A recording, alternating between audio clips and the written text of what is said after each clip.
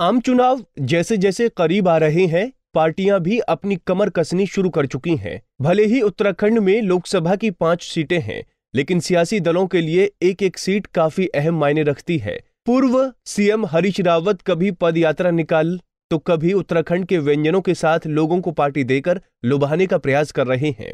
देहरादून में हरीश रावत ने mushroom party का आयोजन किया, जहाँ कांग्रेस के तमाम कार्यकर्ता और हरिद्वार सीट से तमाम लोग इस पार्टी में शामिल हुए। हालाँकि हरीश रावत का इस पर कहना है कि ये दावत उत्तराखंड के स्थानीय उत्पादों को बढ़ावा देने के लिए एक प्रयास मात्र है। साथ ही उन्होंने गठबंधन पर कहा कि यूपी को फुटबॉल बना दिया है। कि इन दो गठबंधनों के बीच में उत्तर प्रदेश फुटबॉल बन गया है।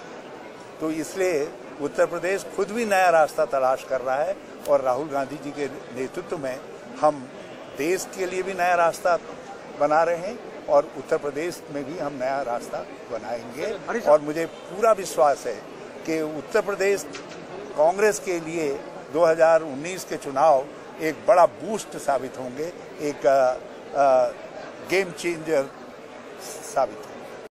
मुख्यमंत्री त्रिवेंद्र सिंह रावत के पीएम नरेंद्र मोदी की तुलना अंबेडकर से करने के बयान पर हरीश रावत ने कहा कि भीमराव अंबेडकर का अपमान बताया। पहली बात तो यह है अंबेडकर कोई दूसरा नहीं हो सकता। गांधी कोई दूसरा नहीं हो सकता। जवाहरलाल और इंदिरा गांधी कोई दूसरा नहीं हो सकता। अंबेडकर से मोदी जी की तुलना करना अंबेडकर जी का अपमान है। त्रिवेंद्र सिंह जी को कोई हक नहीं है कि वो बाबा साहब भीमराव अंबेडकर का अपमान करें और मोदी जी से उनकी तुलना करें। एक व्यक्ति जिसने अपना सब कुछ त्याग किया और देश को एक अभूतपूर्व संविधान देने का काम किया उसकी तुलना उस व्यक्ति से क्या हो सकती है जो केवल राजनीति की मछियाँ मछलियाँ पकड़ने में लगा हुआ है? वहीं प्रदेश कांग्रेस सचिव आशा टमटा अल्मोड़ा पहुँची और आगामी लोकसभा चुनाव को लेकर कांग्रेस कार्यकर्ताओं से मुलाकात की। इस दौरान उन्होंने अल्मोड़ा संसदीय सीट पर दावेदारी करने की बात कही। आ, मैंने अल्मोड़ा क्षेत्र से दावेदारी की है। और बहुत पुख्ता तरीके से दावेदारी की है, क्योंकि 2014 में भी मैंने दावेदारी की थी। उस वक्त किन्हीं वजहों से मेरा नाम कंसिडर नहीं किया गया।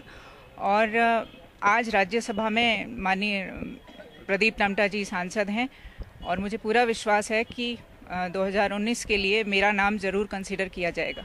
आम चुनाव के लिए सभी पार्टियाँ एड़ी चोटी का ज़ोर लगा रही हैं, लेकिन जीत किसकी होगी ये तो आने वाला वक्त ही बताएगा। देहरादून से कुलदीप रावत और अल्मोड़ा से निर्मल उप्रीति की रिपोर्ट।